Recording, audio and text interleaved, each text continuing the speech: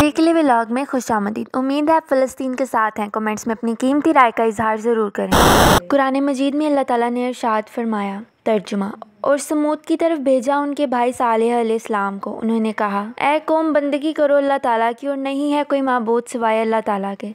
समूद दर हकीकत एक जमात थी, जो साहिब माल थी, और वो बकरियों और ऊँटों से आसूदा हाल थे। जब कौम को अल्लाह ताला ने इस दुनिया से गारत किया तो इसके बाद कौम समूद ने उनके शिकस्ता हाल मकानों पर कब्ज़ा कर लिया और इनको फिर से तमीर कर ली। और ये कौम भी माल और औलाद की कसरत की वजह से गुमराह हुई थी। और उनको अपनी दौलत की वजह से खुद पर काफ़ी गरूर था। और वो दूसरों को, अल्लाह ताला को छोड़ के दूसरों की इबादत किया करते थे। और इसी तरह जुल्म और फसाद कसरत से करते थे। हज़रत साल ने कौम समूद को अल्लाह ताला की दावत दी और इस कौम से कहा कि ए कौम, इकरार करो कि खुदा एक है और कोई इसका शरीक नहीं। मनकरों ने कहा कि, तुम पैगंबर हो, इस बात की क्या दलील है? हज़रत साल ने कहा कि, हूद की कौम को अल्लाह ताला ने बेईमानी और बुत परस्ती की सबब से हलाक किया और मुझे उनके पीछे अल्लाह ताला ने खलीफा बनाकर तुम पर भेजा है। कौम समूद के सरदार बोलने लगे कि ए साल अगर तुम अल्लाह ताला की तरफ़ से पैगंबर बनाकर भेजे गए हो तो हमें कोई मुआवजा दिखलाओ कि हम तुम पर यकीन करें। हज़रत साल ने कहा कि तुम बताओ मैं तुम्हें क्या मुआवजा दिखाऊँ? ये बात सुनकर वो आपस में मशवरा करने लगे। फिर कुछ देर बाद हज़रत साल से कहने लगे, तुम ये मुआवजा दिखाओ कि एक ऊँटनी इस पत्थर से बाहर निकले और इसी वक्त वो बच्चा भी जने और दूध भी दे। तब हम जानेंगे कि तुम अल्लाह ताला के सच्चे रसूल हो।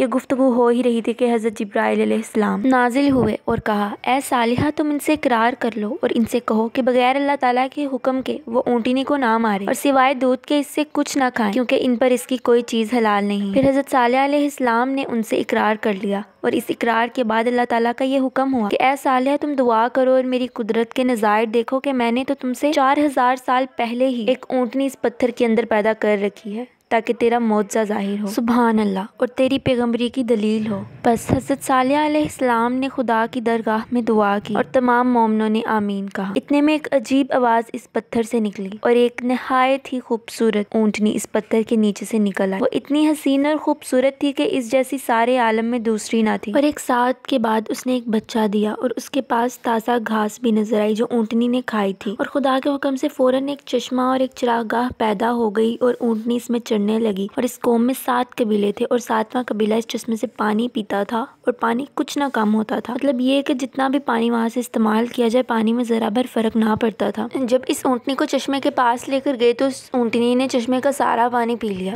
हज़रत साल इस्लाम ने अपनी कौम से कहा कि तुम लोग इसका दूध पियो। बस सातों कबीलों से दूध दोहकर अपने घड़े और मशकें भरकर अपने अपने घर ले जाते थे। अल्लाह ताला ने हज़रत साल इस्लाम को फरमाया कि अपनी कौम से कह दो कि इस चश्मे का पानी एक रोज़ ऊँटनी का है, जिस दिन दूध दोहा जाए, और एक दिन उनका है, जिस दिन दूध ना दोहा जाए। जैसा कि अल्लाह ने अरशाद फरमाया। तर्जुमा। और कहा, ये ऊँटनी है, इसको पानी पीने की एक दिन बारी है और तुम्हारी बारी दूसरे दिन की मुकर की है। और इस ऊँटनी को किस तरह से छेड़ना मत, वरना तुमको एक बड़े दिन की आफत घेर लेगी। अल्लाह ताला की कुदरत से ऊँटनी पत्थर से पैदा होकर हज़रत साल की दुआ से चढ़ती फिरती थी। और जिस जंगल में वो ऊँटनी चढ़ने जाती थी तो उस जंगल के सब मवेशी भाग भाग कर किनारे पहुँच जाते। और जिस तालाब से वो पानी पीती, सब मवेशी वहाँ से भाग जाते और मवेशी वगैरह प्यासे रह जाते।